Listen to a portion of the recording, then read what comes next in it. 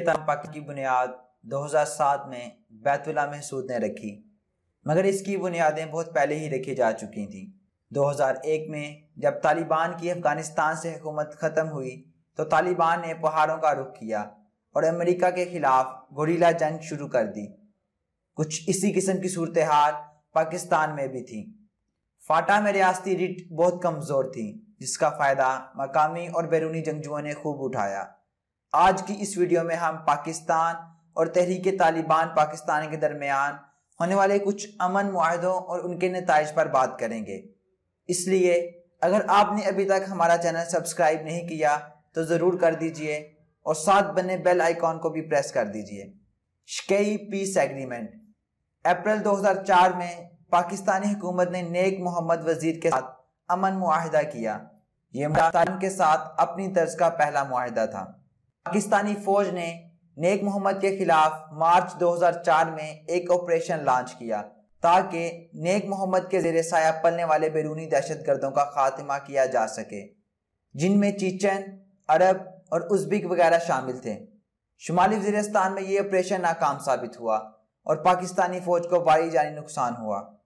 اس operation کے بعد پاکستان نے نیک محمد کے ساتھ مذاکرات کا اعلان کیا۔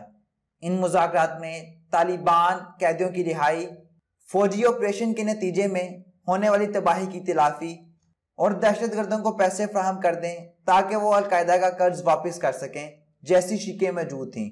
بدلے میں نیک محمد کو بیرونی دہشت گردوں کو پاکستان کے حوالے کرنا تھا اور ان کی مزید پشت پناہی چھوڑنا تھی۔ پاکستانی حکومت نے یہ مطالبات مان لیے اور مذاکرات کامیاب رہے۔ مگر اس معاہدے کے بعد نیک محمد کی طاقت میں اضافہ ہوتا چلا گیا۔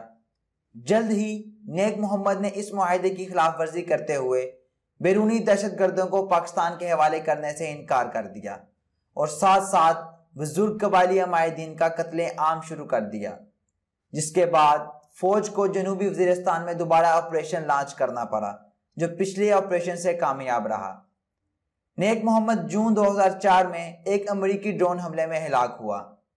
سراروگا پیس ایگریمنٹ فروری دو ہزار پانچ میں پاکستانی حکومت نے شمالی وزیرستان کے علاقہ سراروگا میں موجود بیت اللہ محسود گروپ سے مذاکرات کا اعلان کیا۔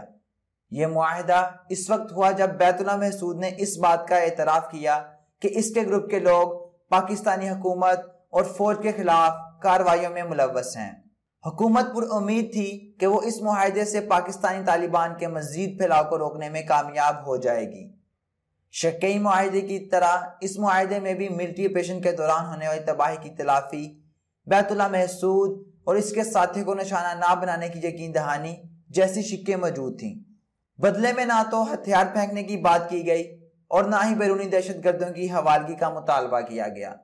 معاہدے کے بدلے میں صرف یہ کہا گیا کہ بیت اللہ محسود گروپ پاکستان میں اپنی کاروائیاں بند کر دے گا اور بیرونی دہشت گردوں کی پشت پناہی بند کی جائے گی۔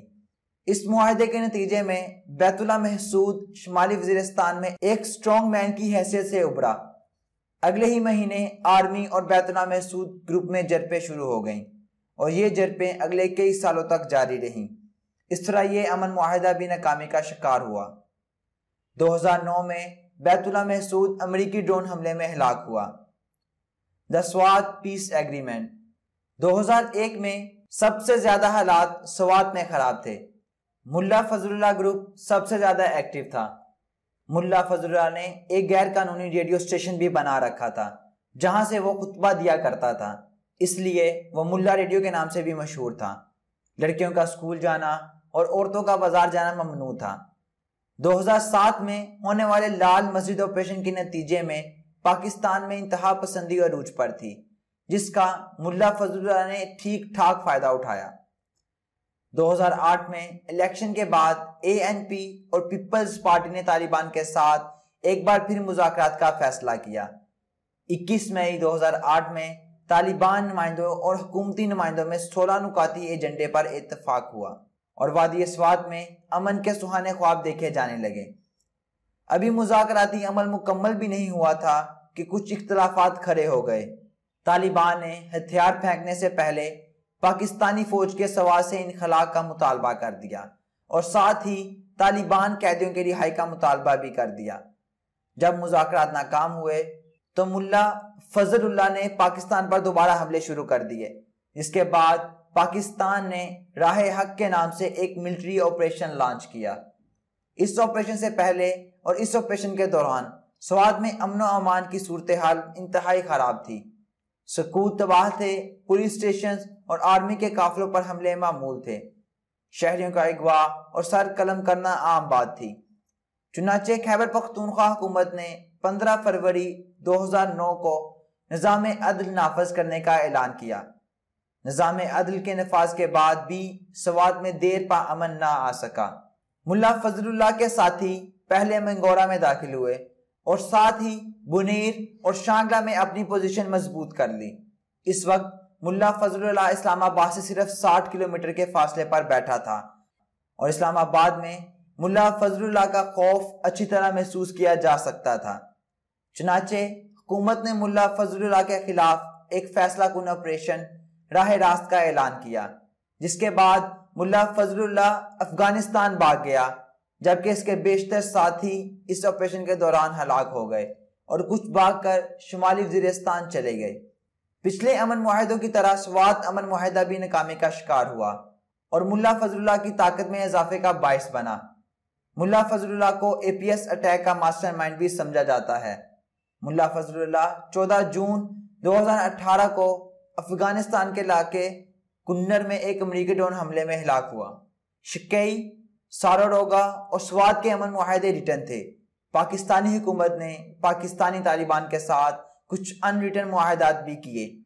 پاکستانی حکومت نے جنوبی وزیرستان میں حافظ گل بہادر کے ساتھ ایک معاہدہ کیا، جس کے مطابق گل بہادر پاکستان پر حملہ نہیں کرے گا اور پاکستان گل بہادر اور اس کے ساتھیوں پر حملہ نہیں کرے گا۔ گل بہادر کو افغانستان میں امریکی فورسز پر حملے سے نہیں روکا گیا، جبکہ اس وقت پاکستان اور امریکہ افغانستان جنگ میں اتحادی بھی تھے۔